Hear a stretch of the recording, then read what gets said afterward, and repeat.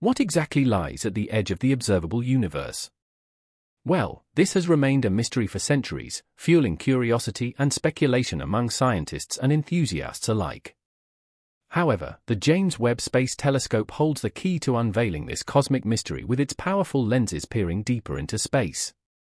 It has recently made a groundbreaking announcement of what lies at the edge of the observable universe. When we talk about the edge of the universe, it's essential to understand the concept of the observable universe.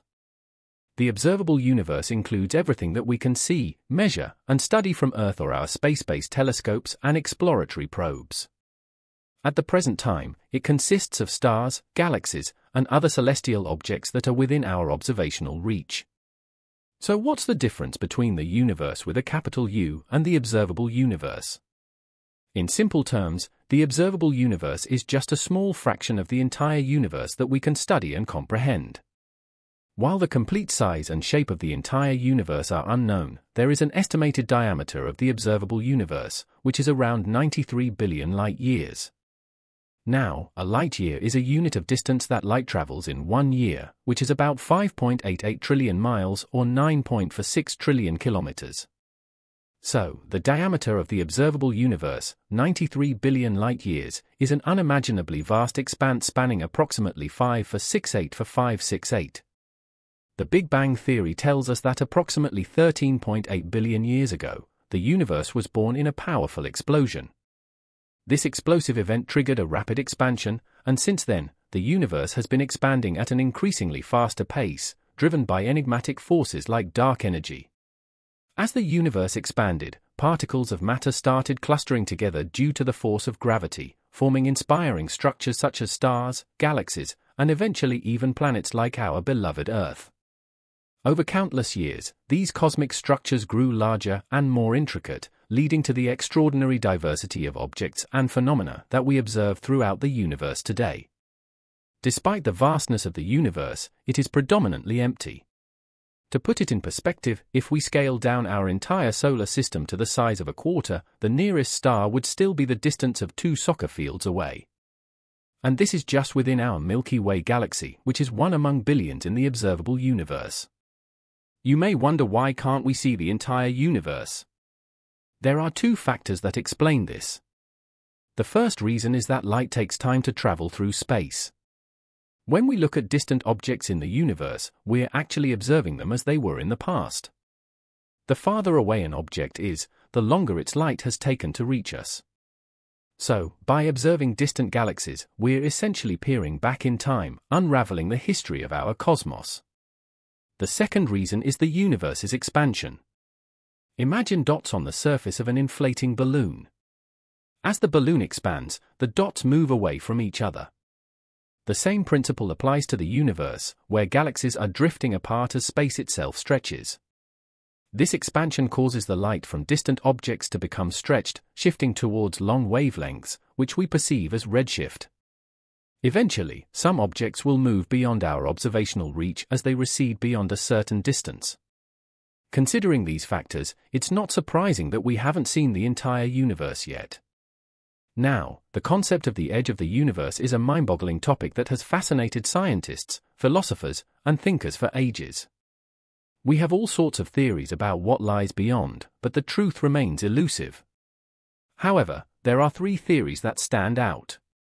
The first theory is that the universe goes on forever, with no end in sight. This theory is based on the cosmological principle, which states that the universe is isotropic, meaning that it looks roughly the same in every direction. If this principle holds true, it implies that the universe stretches on endlessly without a boundary. The second theory suggests that the universe is finite, but it doesn't have a clear edge either. This means it's similar to a giant ball, and if you keep going in any direction, you'll eventually loop back to where you started. The third theory is the multiverse theory, which suggests that our universe is just one of many. Imagine a bunch of parallel universes, each with its own set of rules and properties. These universes could be completely separate from each other or somehow connected. So, we've talked about concepts surrounding the edge of the universe by looking at diverse theories. Now, let's turn our attention to a remarkable tool that holds the potential to shed light on these mysteries, the James Webb Space Telescope, JWST. This incredible telescope allows us to look far back in time and discover unexpected objects from the early days of the cosmos. The JWST, with its advanced capabilities, has enabled astronomers to peer back into the early days of the universe. And guess what? They've stumbled upon something unexpected. In a recent study published in the journal Nature, the JWST discovered six massive galaxies that existed between 500 million and 700 million years after the Big Bang. Researchers were only expecting to find small, newly formed galaxies, but the JWST caught them by surprise. These galaxies are way larger than anyone ever imagined, challenging what we thought we knew about the early cosmos. But that's not all. Scientists also found something mind-boggling. These galaxies are as mature as our 13 billion-year-old Milky Way galaxy. The mass of stars within each of these objects totals several billion times larger than that of our Sun. According to the research, one of them, in particular, might be as much as 100 billion times our Sun's mass. For comparison, the Milky Way contains a mass of stars equivalent to roughly 60 billion suns. You see, this telescope has a special power, it can see things that are invisible to our eyes. By using infrared light, it picks up the faint glow from old stars and galaxies that have been around for ages. This means the JWST can literally take us back in time, providing a glimpse of what the universe looked like around 13.5 billion years ago. Now, here's where it gets really interesting the universe is estimated to be around 13.7 billion years old, so this discovery has turned things upside down. It's like rewriting the history books. These gigantic galaxies, nicknamed universe breakers, have scientists scratching their heads. They defy 99% of the models we had for early galaxies. We used to think galaxies started as small clouds of stars and dust, gradually growing over time. Well, these universe breakers proved us wrong. When the Webb data and high-resolution photos from the telescope became available in July 2022, researchers were blown away.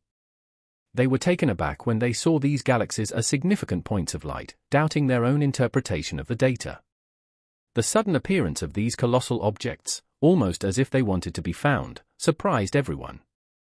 By using spectroscopic techniques to analyze light across different wavelengths, scientists can uncover valuable information about these galaxies, such as their composition, size, and distance from Earth. What's fascinating is that this groundbreaking discovery wasn't even on the top of the list of things scientists hope to find with the James Webb Telescope. It exceeded all expectations and unfolded much quicker than anticipated. There's even a possibility that some of the objects found using Webb data may be something entirely different. While most are likely galaxies, there's a chance that a few could.